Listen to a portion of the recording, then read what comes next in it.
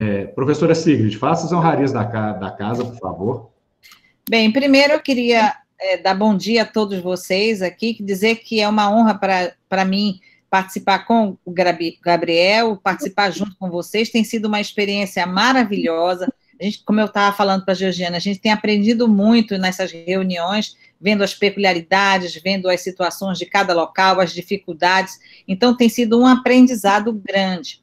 O nosso objetivo aqui é não ficar fazendo detalhes do que poderia ser feito, do que não foi feito, não é esse o nosso objetivo. Nosso objetivo é, através desse caso clínico, a gente discutir algumas situações que são importantes. Ninguém aqui é médico do dia seguinte, porque é muito fácil ser médico no dia seguinte, que tudo já aconteceu, estou com calma olhando. Então, o nosso objetivo é aqui é discutir o Covid de um modo geral na gravidez, dentro dos nossos, do manual que a gente é, fez, pela, com a coordenação da professora Rosiane, é, uma, uma iniciativa do Ministério da Saúde, através do DAPS, do professor Braga.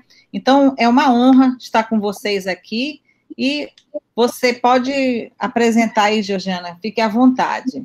É, vocês estão vendo o compartilhamento da tela? Não. Não, não compartilhou, não? Não, ainda não, ainda não compartilhou. Vê no, no, ah, no, na parte baixa, aí vai apresentar agora, direita, e quando isso aparecer, vai estar falando apresentante. Você vai aparecer, só a tela sua vai jogar a gente para um quadro lateral. Não, é porque eu já eu vou tentar compartilhar de novo.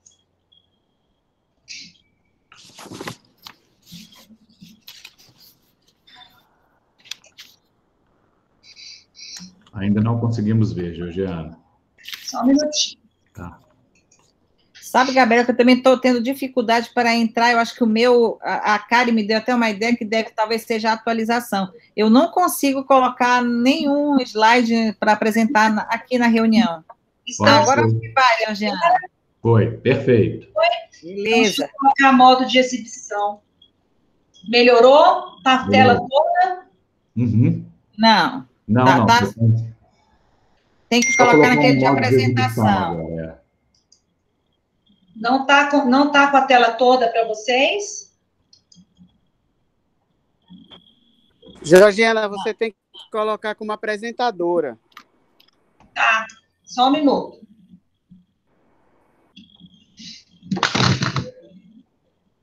Isso, perfeito.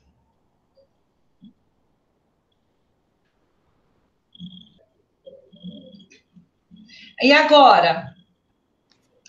Continua do mesmo jeito, mas está dando para a gente ler. Vocês querem que eu tente compartilhar daqui? Eu tenho o caso aqui. Eu vou, eu vou fazer o seguinte, vou mudar um pouquinho aqui.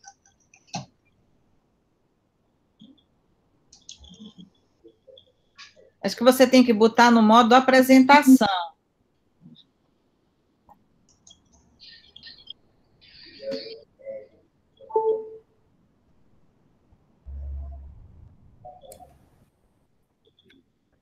Descompartilha e compartilha novamente, às vezes vai.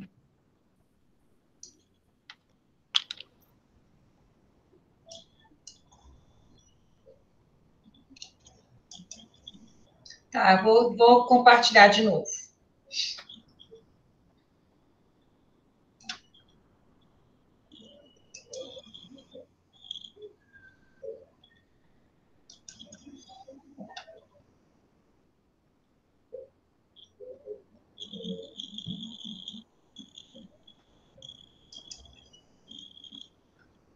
Agora foi?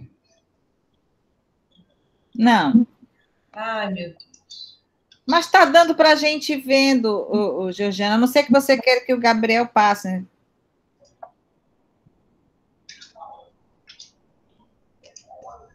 Eu vou aumentar a tela para ver se melhora.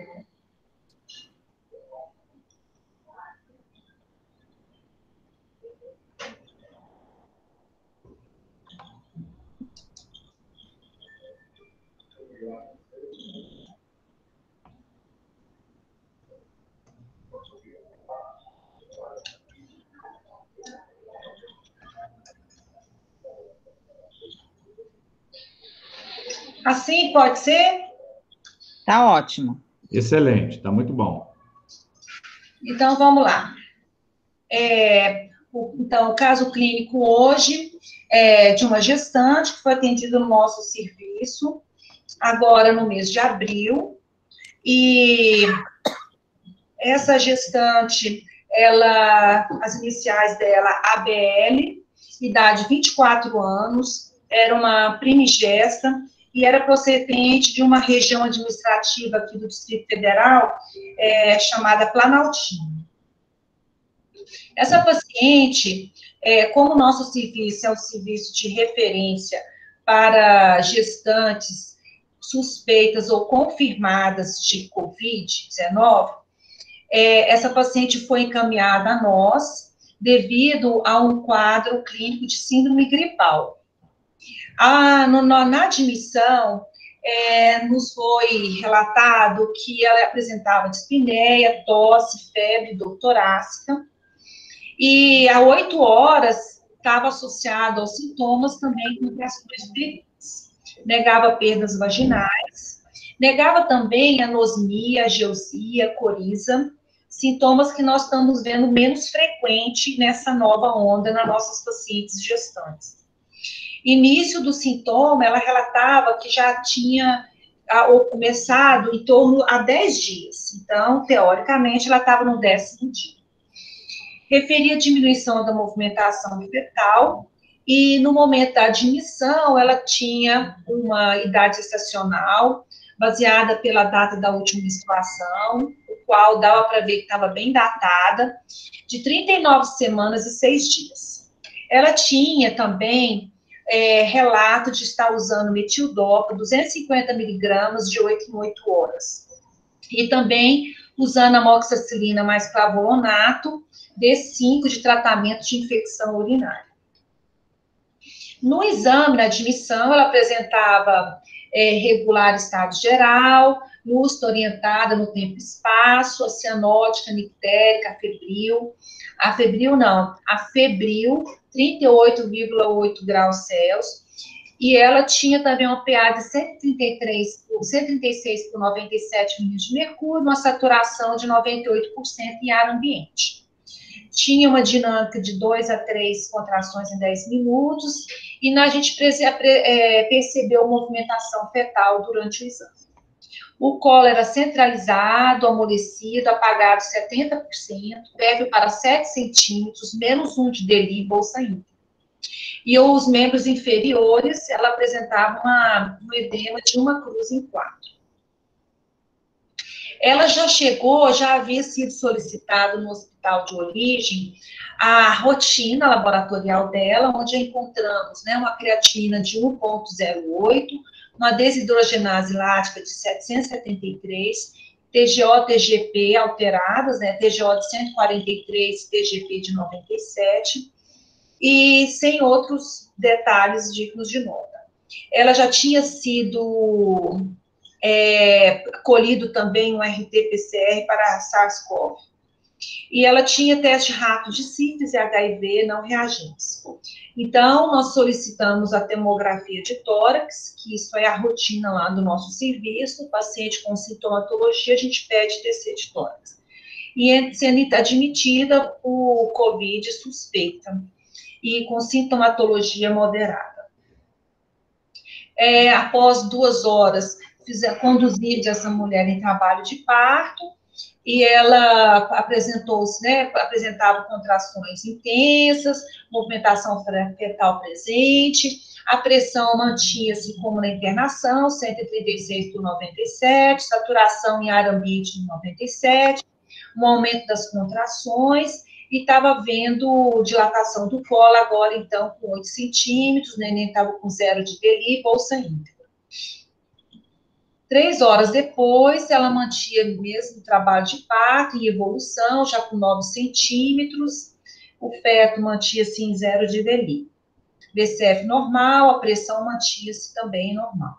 Normal não, elevada, mas não tinha elevado em comparação com, com a da internação. Cinco horas depois, essa paciente foi submetida a uma cesariana porque não houve progressão dessa parte final do trabalho de parto. Então, sendo é, considerado uma parada de progressão, começou a haver uma certa desaceleração do, do BCF fetal, sendo então realizado cesariano. Nasceu feto feminino, sem circular de cordão, não chorou ao nascer, só chorando após estímulo, com campeamento imediato e procedimento cirúrgico sem intercorrências. A paciente no leito de recuperação foi novamente avaliada, e aí, nessa ocasião, ela já se encontrava usando um catéter nasal de um litro por minuto. É, esse catéter foi colocado durante o procedimento da cesariana para o maior conforto dessa paciente, só que depois da cesariana, ela se sentia desconfortável quando se tirava o catéter nasal. É, na evolução, havia, houve no pós-operatório, né? Ela já tinha uma diminuição dos níveis pressóricos, então estava 120 por 65 milímetros de mercúrio, saturação de 98%, com catéter nasal de 1 litro por minuto, mantendo uma frequência cardíaca de 24 incursões respiratórias por minuto, é, sem alterações na ausculta pulmonar. Então, foi mantido o antibiótico, e iniciamos, foi prescrita então enoxaparina, que a gente passou na dose porque ela tinha um peso a mais, de sobrepeso, mais de, de 80 quilos, em torno de 80 quilos, e aí é, também entramos com a dexametasona, porque ela já estava necessitando de uso de, de catéter nasal, e, e aí pedimos e ficamos aguardando o resultado e da tomografia computadorizada, que então nós já providenciamos para fazer.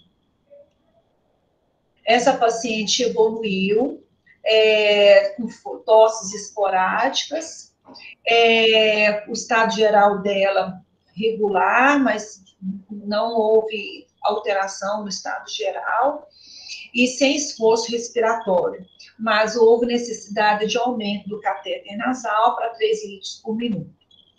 E na evolução também do no dia seguinte, essa evolução de 12 horas depois do parto, ela apresentava também uma cicatriz cirúrgica com bons aspectos, locos fisiológicos, e aí nós já tínhamos o resultado da tomografia, onde apresentava pneumonia de etiologia viral, sugestivo de Covid-19, com comprometimento de 50% do pulmão, do parênquima pulmonar mantido, então, a mesma conduta e acompanhamento puerperal. É, a paciente, então, isso 12 horas depois da cesariana, chamamos D2. Na madrugada do, do, do terceiro dia de internação, ela apresentou um episódio, por volta de duas horas da madrugada, durante a amamentação, ela apresentou uma crise convulsiva seguido de desorientação, e nova crise depois de umas quatro horas. Então, no intervalo de seis horas, ela apresentou duas crises convulsivas. Mantendo nesse período os sinais vitais estáveis, não teve alteração de níveis pressóricos, e mas e mantendo também o catéter nasal com 4 litros por minuto.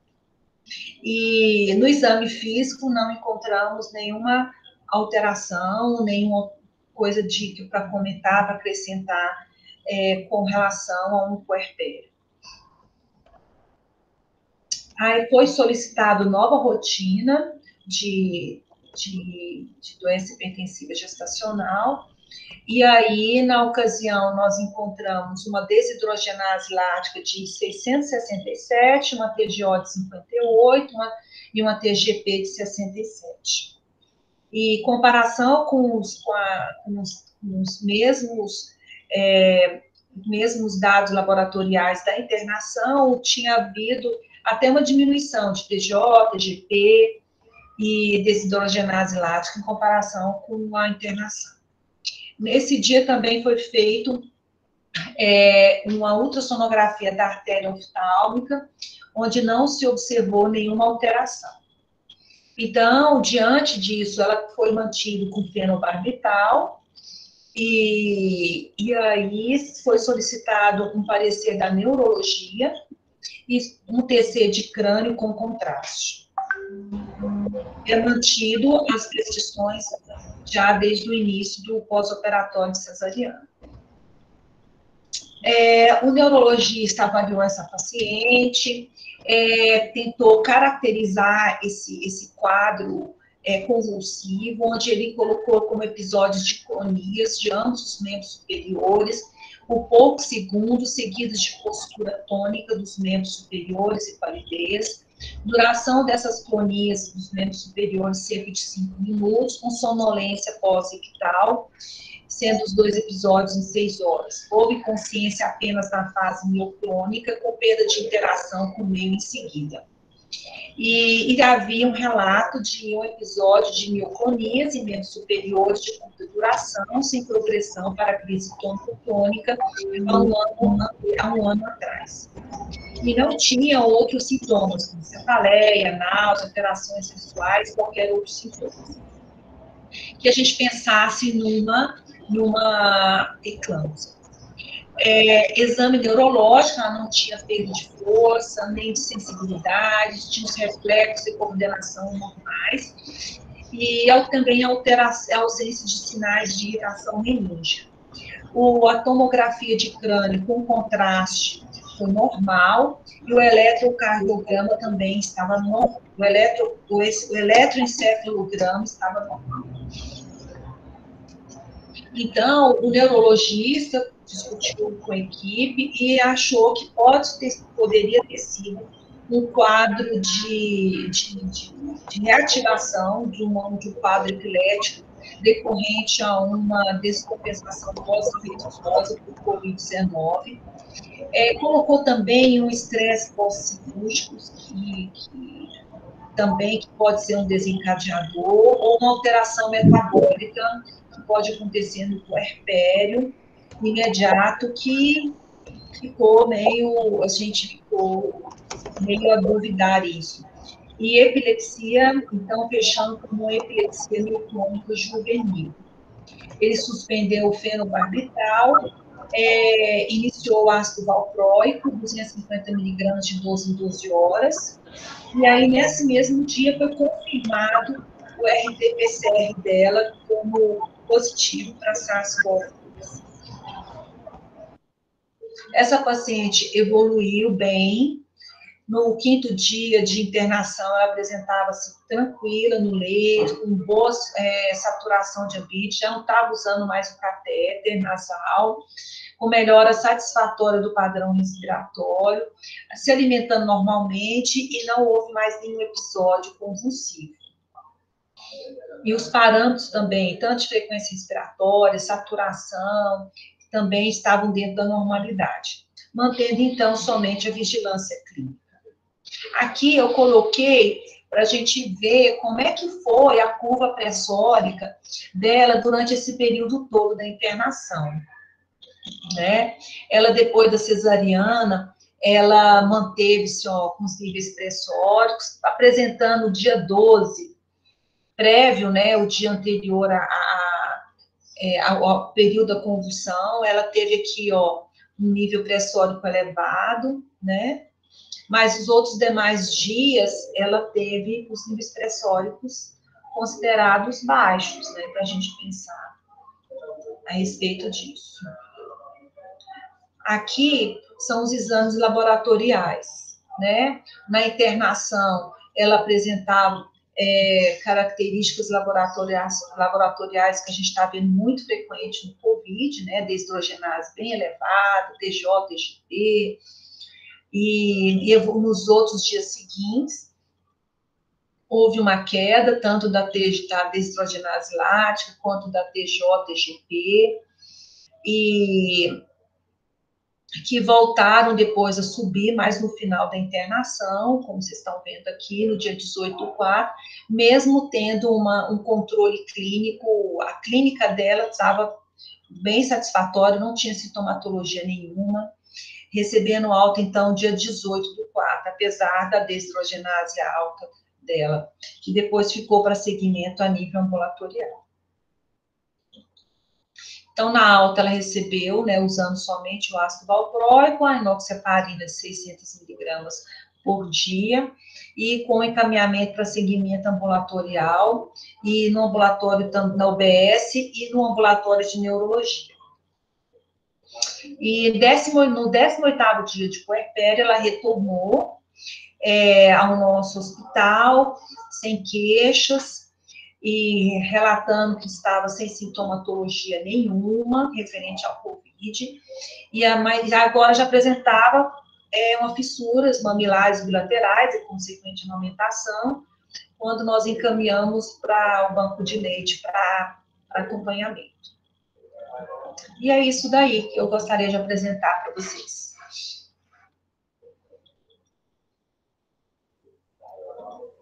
Perfeito.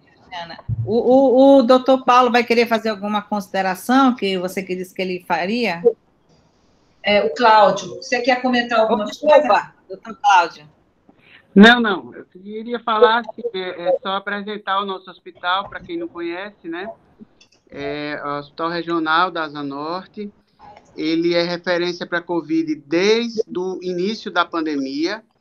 É, uma outra coisa também é que esse hospital, ele até março de, do, desse ano, de março do ano passado para março desse ano, nós atendemos em torno de umas 890 pacientes e temos um índice de, de morte de 1,014. Esse índice aumentou agora, aumentou, o atendimento aumentou para cerca de uns mil pacientes e houveram 12 óbitos é, é, do começo da pandemia até agora. Então, é, é, o volume é grande também de pacientes, né? Hoje mesmo nós temos internadas é, 14, 15 pacientes na enfermaria, tá? E é uma, uma, um hospital voltado só para gestante com Covid. Já foi mudado três vezes o nosso protocolo. Só isso mesmo. Se tiver algumas considerações, pode perguntar.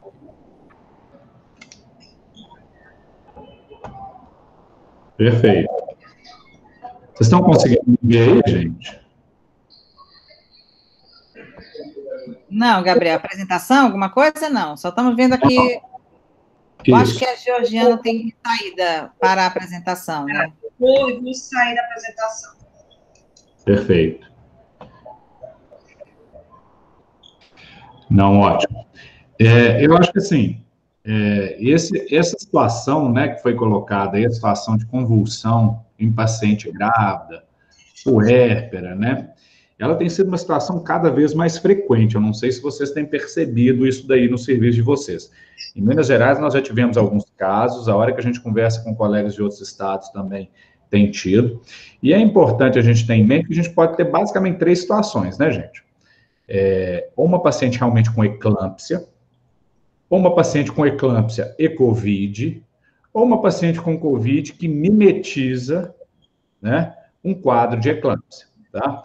A nossa dúvida ela vai parar basicamente em cima dessa situação. Então, assim, esse caso a gente tinha uma situação que era uma paciente que já estava no D3, apesar que você ainda pode ter alguns casos de eclâmpsia né, especialmente na primeira semana ali, isso daí pode acontecer, né, uma paciente que estava com níveis pressóricos menores, mas assim, em obstetrícia eu gostaria de chamar a atenção, porque eu acho que a gente tem que manter um pouco aquela tônica nossa, não diria desse caso, não, vamos falar de uma forma geral, porque os outros casos estão acontecendo de forma totalmente, assim, errática, que é aquele conceito, assim, o que é mais grave para a mulher, né, no, no ciclo gravídico puerperal? Uma convulsão simples ou uma eclâmpsia? Né? E nesse conceito, a gente, partir daquele preceito que nós temos na obstetrícia, que a paciente convulsionando, sem uma história clara, até que prova o contrário para a gente, ela é uma eclâmpsia. Né? E o serviço de vocês, no caso de vocês, vocês até pensaram nesse contexto, porque vocês fizeram, inclusive, Doppler de artéria oftálmica nessa paciente, né? Que é um exame que dá para a gente, pelo menos, avaliar se ocorreu alguma, né, alguma vasodilatação, ou algum sinal de presa, alguma coisa assim que pode realmente chamar a atenção. Então, sim, mas eu acho importante a gente entender que, né, paciente com convulsão, até que prova o contrário para a gente, no ciclo gravídico puerperal, ela tem que ser pensada como uma paciente com eclâmpsia, tá? E aí a seguir a gente trabalhar. O que eu tenho, o que eu tenho assim observado e a gente não vê isso descrito na literatura é o seguinte: tem muita gente conduzindo a paciente dessa forma. Então, assim, ela convulsionou, eu trato ela inicialmente com sulfato de magnésio e vejo depois como que vai ser a evolução dela, que é o que normalmente a gente faz na obstetrícia clássica, né? A gente faz a primeira dose de sulfato e aí você avalia a história, se ela tinha convulsão, se não tinha, alguma coisa assim do tipo. E coincidentemente ou não, é, quem tem feito sulfato de magnésio nessas pacientes, assim, pelo menos essas que têm um quadro um pouco mais próximo do parto ou mesmo durante a gravidez, não tem tido muita recorrência, né? Não sei se nós estamos tratando certo, se nós estamos tratando Covid, mas é fato também que o sulfato de magnésio tem um efeito anti-inflamatório, né? E que talvez para o paciente de Covid, não sei, né, possa ter, assim, algum valor. Por que, que a gente fala desse jeito assim, não tem como ver? Porque na hora que você pega isso tudo, não tem gente falando assim como que você vai tratar. E o que a gente vê é trate como convulsão. Mas eu acho que simplificar, tratar como convulsão numa paciente grávida, né? Igual no quadro de vocês, assim, se a paciente de vocês estivesse, assim, próxima do, do parto, ainda mais com aquela história de pré-eclâmpsia, um uso de metildopa, eu não teria dúvida que aquela paciente, ela seria uma paciente com sulfato de magnésio para ela. Essa era uma paciente que era mais provável ser uma eclâmpsia, pelas características das doenças do nosso país, né? Do que ser, na verdade, um COVID propriamente dito. A hora que vai distanciando um pouco o momento do parto, igual vocês tiveram a dúvida, a coisa vai ficando assim, mais menos comum, né? E você vê que a paciente ela não teve elevação de nível pressórico, e eu imagino que ela não estava usando antipertensivo depois, né? Não estava usando. Então, assim, obviamente que a gente acaba tendo ainda mais dúvida, tá? Em relação a isso. Né? Então, assim, são casos ainda desafiadores para a gente. O caminho que a gente tomar são caminhos que a gente deve, né, estar tá construindo um, vamos dizer assim, um número de casos para conhecer e discutir esses casos com o serviço, porque, assim, eu acho que com o grupo todo fazendo, a gente vai ter mais dados. Tenho visto que as pacientes, todas que usaram sulfato de magnésio, elas não recorreram, tá? Não sei se isso é uma observação empírica, tá? Se isso é uma coisa que pode ser considerada ou não. Quem usou diazepam, por coincidência, o seu é o terceiro caso que eu vejo usando diazepam e que recorreu, tá? Então, talvez por ser um processo inflamatório, não sei se o sulfato de magnésio nesse caso cabe, mas ele faz muito sentido para gente de fisiologia, tá? Se você for conversar com um neurologista, ele vai falar de diazepam, porque neuro, a neurologia ela vai enxergar a paciente como uma paciente não gestante né? A clínica vai enxergar. Então, assim, são colocações que eu trago para a gente refletir. No seu caso, eu acho que é um caso que ele estava mais até mais liso, né? Para dizer para a gente assim que era uma paciente que assim, tinha um pouco mais de tempo, não tinha elevação de nível pressórico, na é verdade, era uma paciente com COVID, né? Paciente com COVID, quase um terço faz sintoma neurológico, a gente que não atenta muito para isso, tá? Então, assim, são coisas que chamam muita atenção e a gente está construindo conhecimento. Mas é uma coisa para a gente atentar. Ter Doppler de artéria oftálmica foi ótimo, porque isso de alguma forma ajuda a dizer que a não alteração favorece ter sido um quadro não relacionado a uma eclâmpsia, por exemplo. Né? Ter feito também uma investigação cerebral posterior é importante, porque inclusive essa paciente ela ficava cinco minutos, né, pelo que eu entendi, é isso? Cinco minutos convulsionando. Isso não bate com eclâmpsia se não tiver muito AVC. Né? Normalmente, se for eclâmpsia, normalmente você tem a persistência porque você tem um AVC. Né? Agora, lembrando que você, quando você vai usar diazepam, esses medicamentos, assim, alguns medicamentos, eles podem atravessar o leite pode também deixar a criança um pouco mais letárgica. Então, esses são os cuidados que a gente vai ter que ter de uma forma geral. Então, eu acho que nesse caso, assim, muito mais do que uma discussão, sabe, Georgiana, que a gente não tem um N grande e nem as pessoas estão colocando, eu acho que talvez não publica, porque tem esse receio assim, nossa, será que o meu diagnóstico foi correto ou não? Né? Mas investir na propedêutica nessas pacientes, pensar em eclâmpsia, né? Mas investindo na propedêutica no sentido assim de confirmar ou não, acho que são coisas importantes, porque assim, as lesões hepáticas e lesões de LDH você pode ter com COVID, você pode ter com pré-eclâmpsia. Sua paciente tinha uma história de pré-eclâmpsia. Aquilo ali deixou vocês maluquinhos, eu imagino. Porque ela tinha uma história de pré-eclâmpsia e de repente convulsiona. Até que na nossa cabeça prova o contrário, a gente pensa em eclâmpsia por ser mais grave do que uma convulsão aleatória, né? Mas a persistência do quadro com uma TC normal, né, 5 minutos de convulsão, faz a gente realmente repensar esse diagnóstico com né, um Doppler de oftálmica, que eu acho que foi uma ótima, uma ótima observação que vocês fizeram, fazer o Doppler de oftálmica para entrar nesse diagnóstico diferencial. Ele não é 100%, a gente sabe, mas ele pode ajudar a gente a construir o nosso raciocínio clínico, né?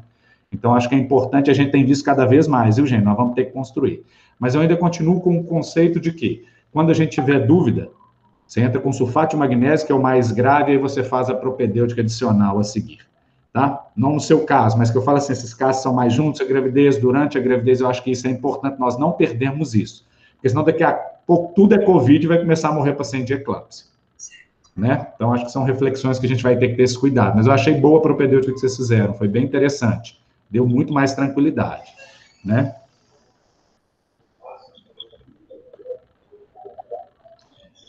Quer fazer alguma observação? Seu áudio está fechado.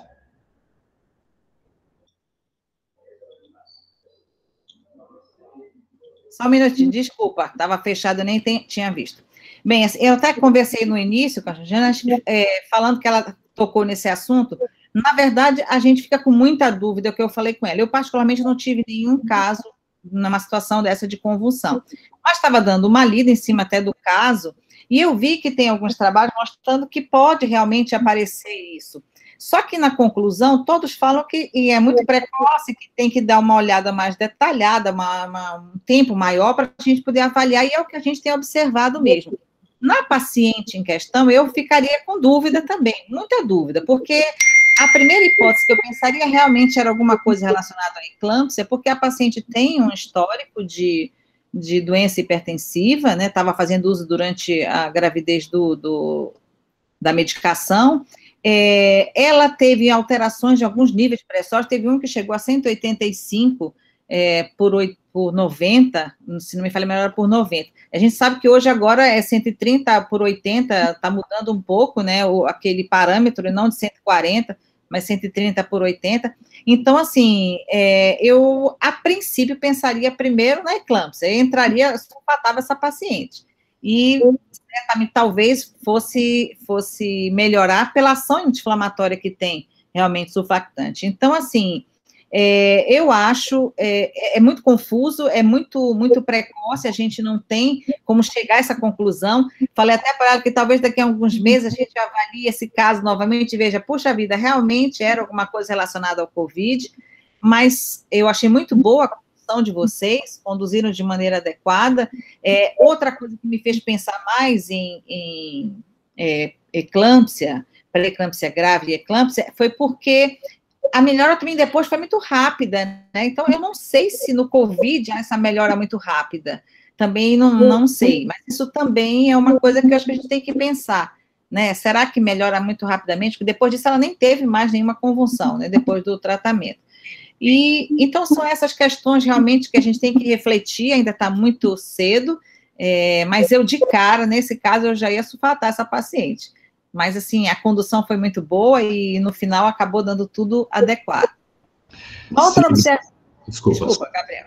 Uma, uma, outra observação que eu acho que é interessante, saindo dessa parte da, da eclâmpsia, que essa, essa pergunta a gente não vai conseguir esclarecer nenhum de nós, porque realmente ainda está muito precoce, a gente não tem muita informação em cima disso. Mas eu achei muito interessante, primeiro, a, a maneira como a paciente foi conduzida para o hospital de vocês. A gente tem batido muito e a gente tem notado em alguns locais a dificuldade da paciente que está na, na rede básica de conseguir é, ser encaminhada para um outro hospital. Esse fluxo, né, essa referência contra referência tem, tem que ser muito importante. Ela foi encaminhada, na hora que fizeram o diagnóstico, foi encaminhada já para um hospital de referência. Eu achei isso muito legal, muito importante. Ela não ficou esperando, aguardando, ou o que é pior, que às vezes a gente observa, entrando com antibiótico, entrando com corticoide, entrando com heparina, com a paciente em casa e tudo mais, né? Com enoxeparina, etc.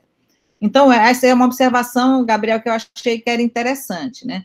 Uma outra, só para reforçar, uma outra questão que eu achei interessante é que é a gente falar sobre é, os estágios da doença, né? A gente sabe que a doença na fase inicial, ela vai de, de até sete dias, que a gente chama de fase de replicação viral. Essa paciente já chegou no estágio 2, ela estava com mais ou menos 10 dias, né?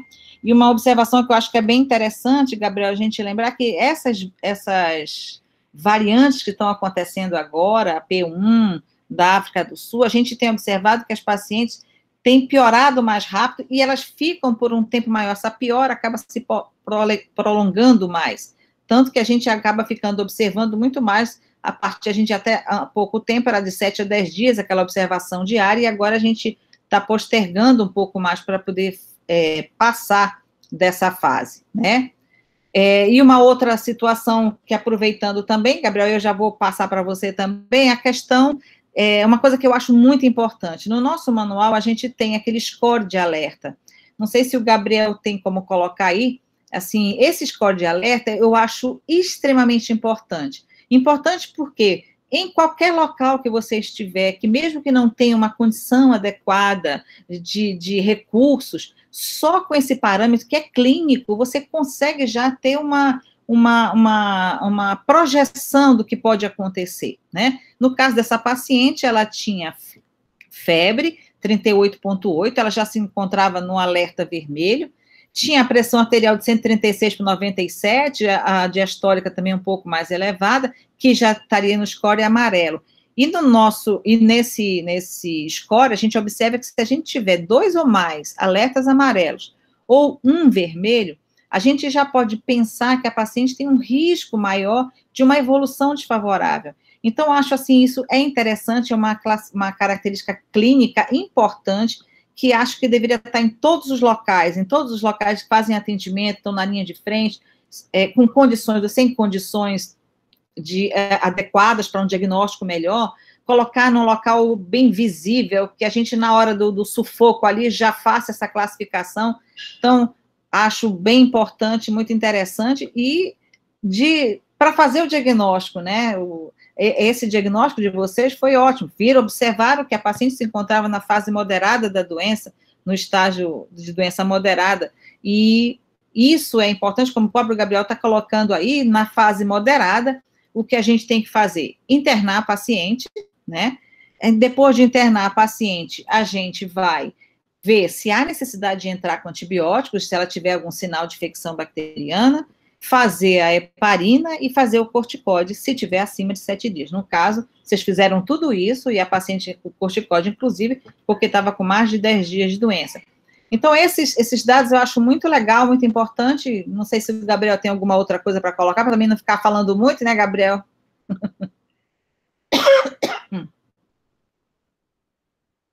Teu microfone está desligado, Gabriel.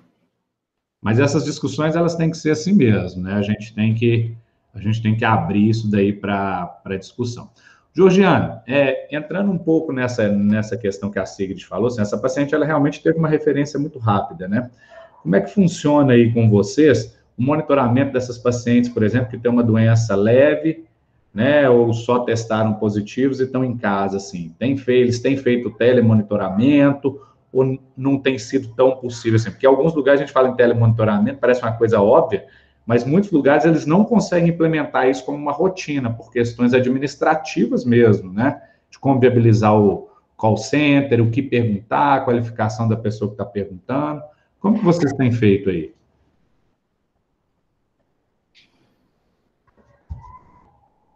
Está desligado o teu microfone. Isso.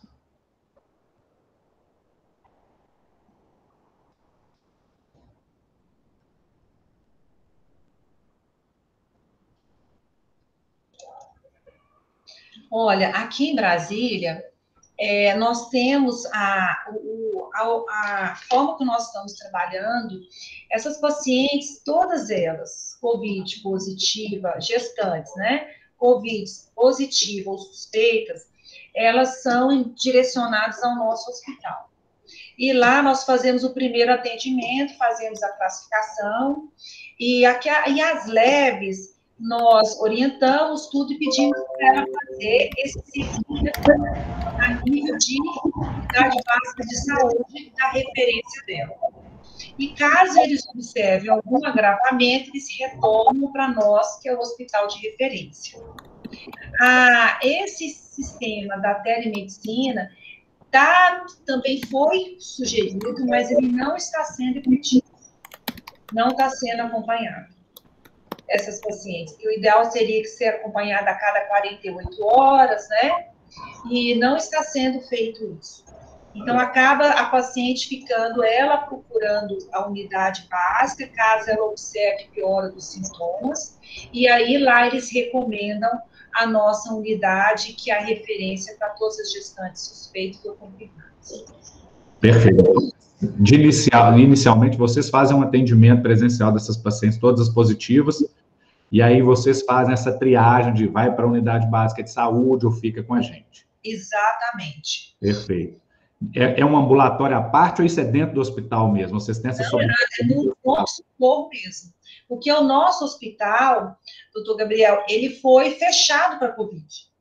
Perfeito. Então, é um hospital que ele só atende Covid. Então, a, o serviço da a unidade de ginecologia obstetrícia do Agarram, hoje, ela também só atende gestantes suspeitas ou confirmadas por Covid, ou as pacientes na área de ginecologia confirmadas para COVID.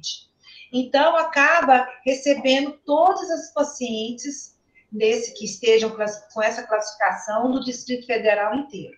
E das, das cidades vizinhas do Distrito Federal também. Perfeito. Eugênia, eu não entendi. É vocês que fazem essa, essa triagem, é? Elas vão direto para aí já? Sim, todo paciente que, por exemplo, chegou em qualquer outra unidade básica de saúde, ou que tem, que o médico tenha dúvida lá da estratégia a respeito de se é COVID, a gestante ou não é, eles referenciam, mandam ela para o nosso hospital. Aí nós atendemos lá na, na no pronto-socorro de obstetrícia essas pacientes, e aí aquelas que a gente acha que tem muita sintomatologia, a gente já faz todos os exames, faz tomografia e todas que têm pneumonia, que sejam mesmo leve, é, a pouca comprometimento que eu quero dizer pulmonar, elas são internadas e acompanhadas lá, pelo menos por um período específico. Então deve sobrecarregar muito, né, Georgiana, para vocês, né? Porque tudo direcionando para aí, vocês Sim. devem ficar sobrecarregados. Sim. Talvez se tivesse um outro tipo de estratégia de dessas pessoas na unidade básica já fizesse essa triagem e já realmente encaminhasse os casos moderados e graves e fizesse o acompanhamento, talvez não tivesse tão sobrecarregado para vocês, porque é essa paciente, por exemplo, ela é de outro local, né? Não é de Brasília, né? No, no município aí, pelo que eu entendi, né? É, o que aconteceu, é, Sigrid, é, eles preferiram adotar dessa forma, para porque os outros hospitais, nem todos eles tinham estrutura para ficar olhando uma paciente dessa esperando o resultado. Então, o que aconteceu? Muitos não tinham é, lugares de enfermaria para fazer isolamento para essas pacientes, e com medo de contaminar a equipe e os outros pacientes, então, eles optaram. Então, a paciente chega no pronto-socorro, quando ela passa lá pela avaliação de risco no hospital de origem, a avaliação de risco já suspeita que pode ser um caso de Covid, aí ela, essa paciente ela, ela é logo regulada e transferida para a nossa unidade. Essa... E todas são testadas antes, porque essa acho que foi testada antes, né? Ou não? Elas... Essa civil, ela foi solicitar o tempo, o, o, a, quando ele estava esperando a remoção dela, eles já pediram os exames laboratoriais e já fizeram o RT-PCR. E aí já encaminharam para a gente. E aí, como é o sistema, é, a gente é integrado, a gente tem condição de entrar no, no prontuário, então a gente conseguiu pegar o resultado dos exames que já tinham sido feitos lá nessa regional. Mas isso, geralmente essa transferência é em torno de duas a três horas, viu, Sigrid? Então, Ai, que bom. É, elas nem ficam em leito, para você ter uma ideia. Elas ficam no pronto-socorro já esperando para ser transferida. Ou quando tem uma na enfermaria, que porventura internou e no dia seguinte outro começou a ter algum sintoma, também aí ela também novamente transferida para o Hospital Regional da Zanote para acompanhamento e até confirmação. Muito bom. E numa área reservada, né, Georgina? Elas entram, já ficam numa área reservada para isso e tudo mais, né? Exatamente. Muito bom. Eu queria chamar a atenção uma outra coisa desse caso, que é uma coisa que a gente tem vivenciado muito, acho que todo mundo tem sido uma dúvida muito frequente, que é assim, o homem parto, como o parto impacta para essas pacientes, né? Obviamente que esse caso, ele era um caso, assim, que dentre os grupos de casos importantes, ele era um caso, assim, que era mais é, leve, moderado, né? Ele, ele transitava entre esses dois, evoluiu para o parto vaginal, que não teve jeito de ser, virou uma cesariana. Mas, assim, tem sido muito gritante para a gente é, como que essas pacientes, após um parto, elas têm modificado a história, o, o comportamento do sistema respiratório delas, né? Assim, essa paciente, assim, obviamente que ela não tinha aquele quadro gravíssimo, que às vezes a gente fica na dúvida, vamos interromper ou não, até porque ela chegou em trabalho de parto, né? Mas você vê que depois do parto, essa paciente faz as intercorrências, né? Relacionadas ao não Covid, que a gente estava nessa dúvida, se era eclâmpsia, mas assim, que faz a gente pensar, né? Realmente, assim, esse estado inflamatório do parto, né? essa questão, essa resposta adicional é uma coisa que tem que chamar atenção para gente. Então, assim, a gente também tem, tem reforçado muitas questões relacionadas assim. Paciente com doença leve, paciente com doença moderada, ou até mesmo aquelas pacientes, assim, ter um cuidado com o momento do parto. Porque o que antes para a gente era uma coisa que favorecia, igual na H1N1, né? Que a gente tinha aquela coisa assim, ó, vamos descomprimir o pulmão e vai resolver. Agora a gente começa a ver que a Covid ela tem um quadro muito mais sistêmico, né? A hora que você fala de receptor ECA2 como um dos pontos, né? Vamos dizer assim, importantes na fisiopatologia da doença, a gente começa a remeter até um pouco a pré-eclâmpsia, né? Que é uma doença que manifesta-se como uma hipertensão, mas que no fundo, no fundo é uma síndrome sistêmica. Né? E o Covid cada dia mais tem comprovado isso para a gente, né? E se essa paciente, por exemplo, tiver tido um evento de convulsão por Covid, né, que foi aí, né, pareceu uma possibilidade depois, olhando, né, retrospectivamente, não tem, né, dessa forma, você passa a ver que, pô, até sistema, até sistema neurológico, de uma forma assim, até em pacientes que não ficaram tão graves, ele tem tido acometimento. Então, a gente tem que ficar atento com pontos de inflamação, né? Assim, é. cirurgias, tudo isso daí a gente tem que começar a tentar agora em, momentos como esse, né? É, esse é um detalhe bem importante que o Gabriel está falando, que na verdade o COVID ele é dependente de resposta inflamatória, né? Então, quando você faz um parto cesariano que for, você corta várias estruturas, você mexe com várias estruturas e acaba aumentando essa resposta inflamatória. E no caso da paciente em questão, ela também estava começando a ter alterações de desaceleração, né? Então, isso é um fator que eu acho que é bem importante, que passa nos sinais de alerta, que a gente coloca, os parâmetros fetais de alerta, né? Quando você tem a cardiotocografia, acho que o Gabriel deve ter também o, o, o slide disso. A cardiotocografia, quando a gente observar taquicardia, que na verdade taquicardia é o primeiro sinal de sofrimento fetal tem ataque cardíaco por causa da acidose, né, acidemia que tem, e se isso persiste, acaba tendo bradicardia, tem desacelerações. Então, são indícios importantes de parâmetros de alerta fetal. O volume de líquido amniótico também, que é importante, a gente tem colocado que é, o, o, maior bolsão menor que 2, 2, a gente acaba também preocupada, porque pode causar alguma alteração. É, o perfil biofísico fetal, menor ou igual a 6, também é um sinal importante para a gente. O Doppler também, com diástase zero e tudo mais. Então, são, são parâmetros que a gente leva em consideração com relação à, à questão do parto. E a questão do parto é sempre, como a Fernanda diz, uma pergunta de um milhão de dólares, né? Qual é o, o momento adequado de fazer esse parto? Então, sempre é uma preocupação. Antes de 24 semanas, a gente é, observa mais a parte materna, né, pela, pela viabilidade que vai ter esse feto com menos de 24 semanas.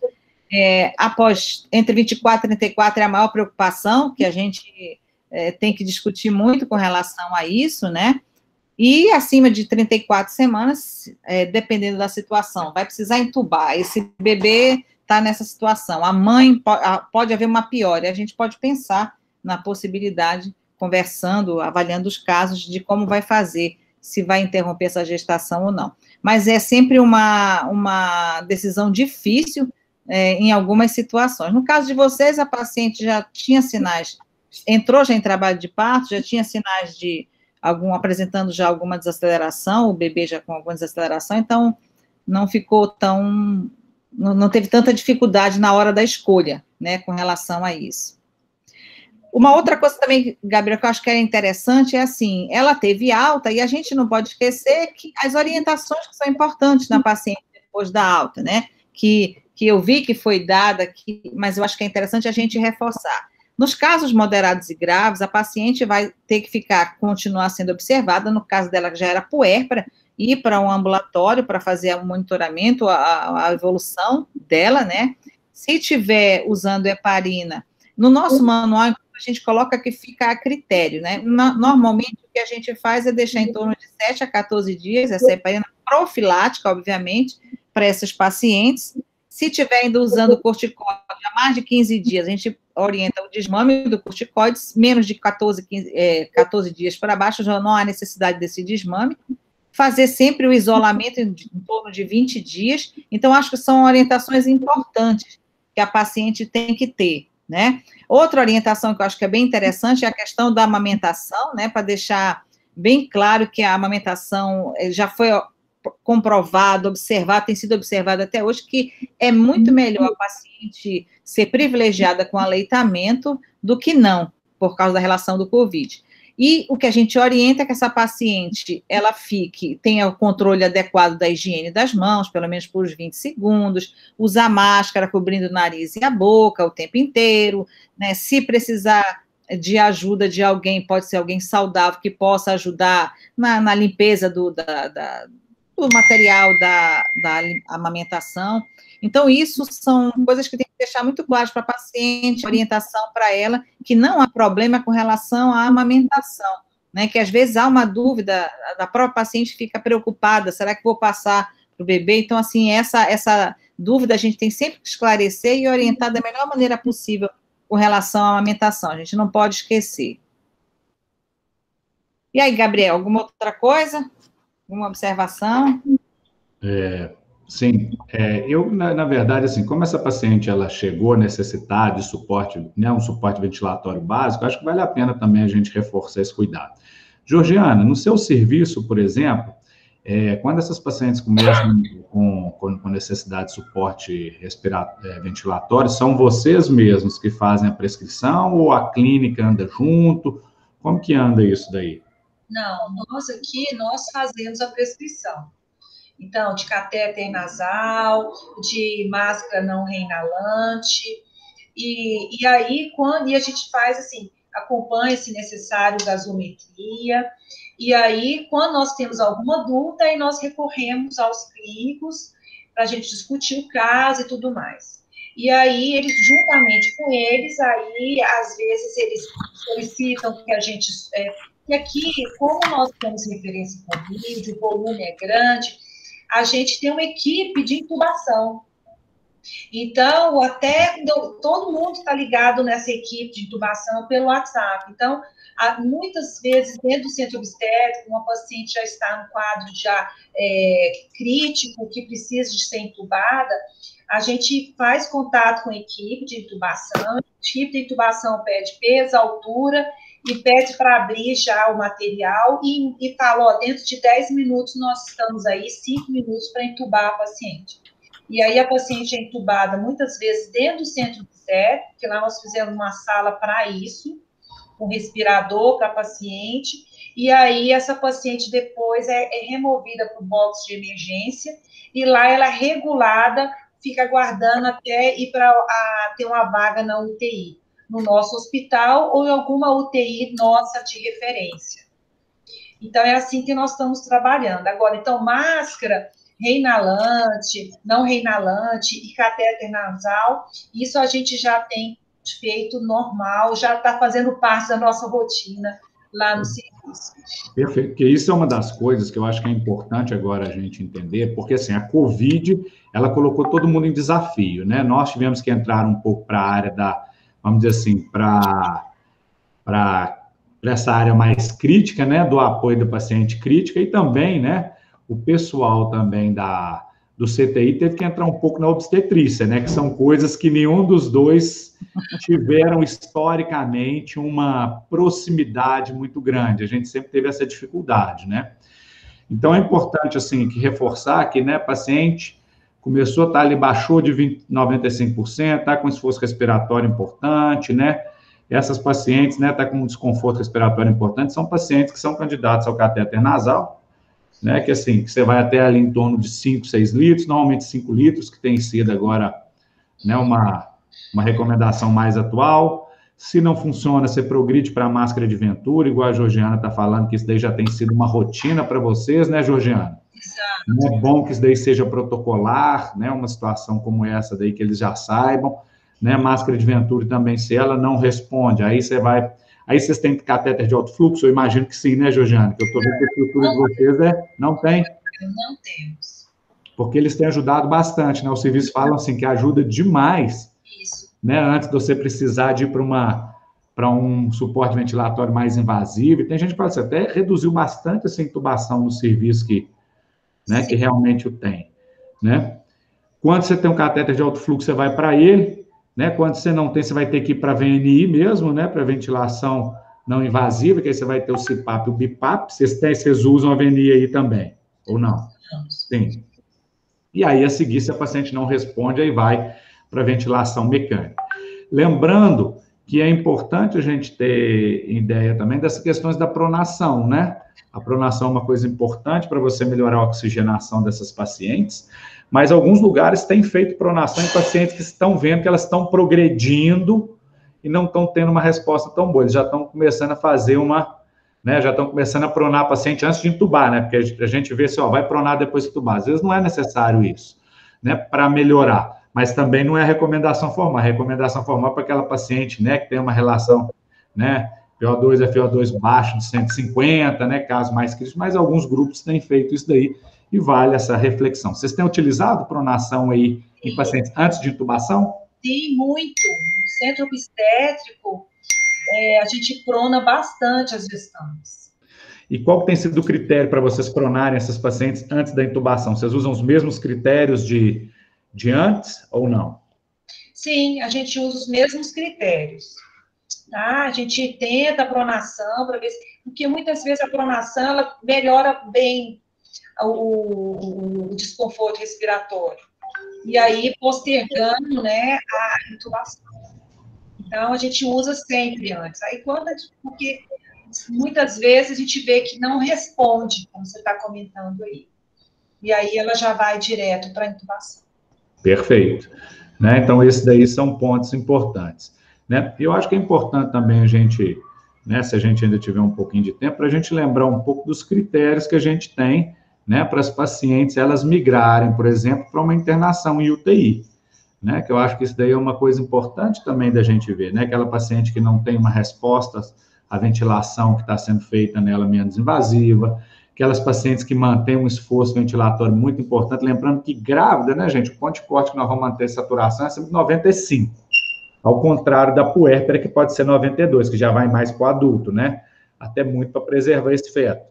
Importante, né, para as pacientes também que têm uma PO2 e FO2 menor que, né, que 300 é um grupo de alto risco, né, obviamente, paciente que tem sinais clássicos de choque, essa paciente vai, paciente que altera perfusão, paciente que tem alteração de nível de consciência, todas essas coisas são, são sinais importantes. Mas vale ressaltar, gente, que é, tem uns grupos no Brasil, especialmente o grupo da USP de São Paulo, que eles estão também tendo um fluxo bem grande de casos, como vocês estão tendo aí, e num estudo que eles fizeram recentemente, eles começaram a observar que paciente que precisa de catéter de O2 é paciente que deve estar em unidade com UTI, porque aumenta-se muito o risco dessa paciente ir para CTI. Então, fala assim, ah, tô, tô tranquilo, tô numa UPA, mas é só um catéter de O2, talvez para gestante vale a pena você começar a pensar em já mandar ela, porque você transferir ela depois com outro tipo de ventilação, você vai ter que transferir entubada, né? Porque talvez você não consegue nem fazer transferência. Então, isso é um ponto de cuidado que chama atenção. Vocês têm percebido isso também aí, Georgiana?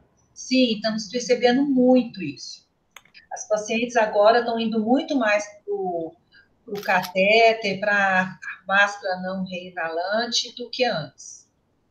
Sim, e, e esse grupo realmente é um grupo que vai, usualmente, merece um cuidado especial, né? Que tem. Estão evoluindo para a gravidade muito rápido.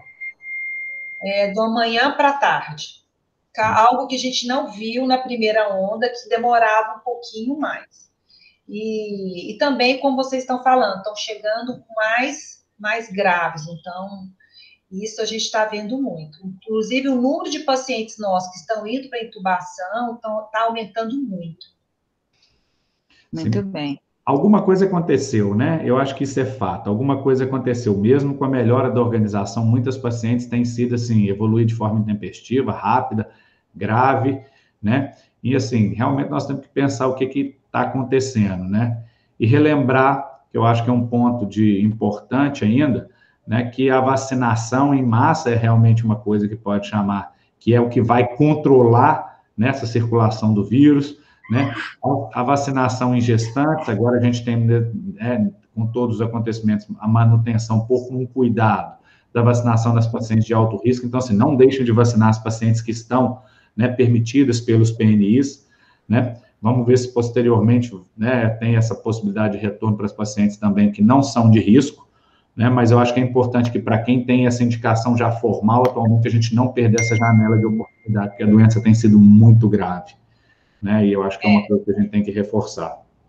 É, eu acho isso de extrema importância, né? Na verdade, com essa situação toda da vacinação, acabou não ficando do jeito que a gente queria, né? Hum. Mas vamos torcer para que brevemente todas as pacientes grávidas e puérperas possam ser vacinadas, é, que eu não vejo outra saída. Como é que está essa situação da vacina, Georgiana? Só para encerrar, para não ocupar também muito tempo de vocês. Como é que está a situação de vacinação aí com vocês? Está ocorrendo normalmente para grávidas? Como é que está? Não, para grávida a gente está seguindo as orientações do Ministério da Saúde, tá? E, mas estão ocorrendo normalmente. Ah, tá. Né? E, e até é engraçado, no meu plantão, há dois dias atrás, chegou uma e ela foi porque ela estava, tinha sido vacinada pela, pela vacina de, da AstraZeneca e um dia antes de ser suspensa. Ela vacinou dia 7, a vacina foi suspensa para grávida dia 8, e naquela apreensão. Então, mas nós não estamos tendo, assim, nenhuma, nenhum evento adverso com relação à vacina, que até o momento não, e as grávidas estão sendo vacinadas de acordo com a orientação do Ministério da Saúde. Perfeito, muito bom. Gente, então acho que Desculpa, pode Desculpa, falar. Gabriel. Só, só saber se tem alguma pergunta para a gente, senão a gente encerrar. Ok, só sinalizando, gente, que as tabelas que estavam sendo apresentadas na, nos slides que nós projetamos, elas fazem parte do manual, tá? Então, é só vocês olharem que elas estão dentro do manual, tá bom? É, para mim, gente, foi uma satisfação muito grande. Eu fico muito feliz, sabe, Georgiana, na hora que você vê um hospital que ele está com fluxo andando, porque realmente a gente vê que a chance das nossas pacientes passam por aí, uma organização de fluxo, um serviço organizado. Eu gosto muito desse modelo, particularmente, assim, de centralizações de centros, né, de COVID, quando você tem possibilidade de viabilizar esses encaminhamentos, porque você vê como as pessoas têm tido dificuldade, até para atendimento simples, né? No serviço de organizar aquilo. Tem lugar que às vezes são hospitais com uma característica assim, de porte importante, a hora que você fala que tem uma paciente com Covid, cadê o material, cadê a EPI, como que nós vamos fazer, em que sala, em que momento? Então, isso daí é uma coisa que a pandemia tem mostrado para a gente. Uma centralização favorece né? Ou então a organização de um fluxo bem delimitado, aquele grupo vai atender Covid, isso favorece em muito o atendimento dos pacientes. Atendem de uma forma melhor, porque não fica com aquele receio todo daquela pouca experiência que tem de ter atendido Covid. Né? Não deixam passar coisas importantes, porque vocês passam a ver todos os dias novos eventos que chamam a atenção da equipe, né? Aquela percepção do profissional também, ela passa a ser importante, não é a única coisa, né? O MIL está aí para ajudar a gente mas isso ajuda bastante. Então, assim, fiquei muito feliz com a organização do seu hospital. Então, é uma coisa que realmente deixa a gente muito satisfeito, né? E, assim, né, sempre uma satisfação estar discutindo os casos, né, gente? Porque, assim, a gente discute, a gente troca ideias, a gente vê se alguns padrões de pacientes ou de tratamento estão ocorrendo e como que isso tem, tem melhorado ou não. Então, assim, uma grande satisfação e parabéns pelo serviço de vocês, viu? Um brinco mesmo, né? Um exemplo a ser seguido. Bom, muito obrigado pelas palavras, professor Gabriel, e muito obrigado pelas considerações, tá? Foram muito boas, muito úteis, e eu vou levar também para os demais colegas da unidade. Bem, quero também agradecer a, a, presença de todos, agradecer, Georgiana, você, estão de parabéns, o serviço de vocês está de parabéns, você pela apresentação do, do caso, muito boa condução, agradecer a todos que estão participando, para a gente tem sido uma honra, um prazer muito grande, a gente tem aprendido, como eu falei, bastante em cada reunião dessa.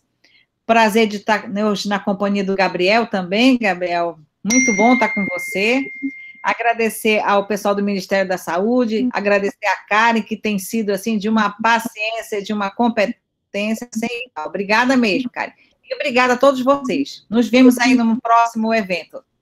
Certo. Uma boa tarde a todos. Tchau. Tchau, tchau, tchau gente. Um abraço, gente. Tchau, tchau.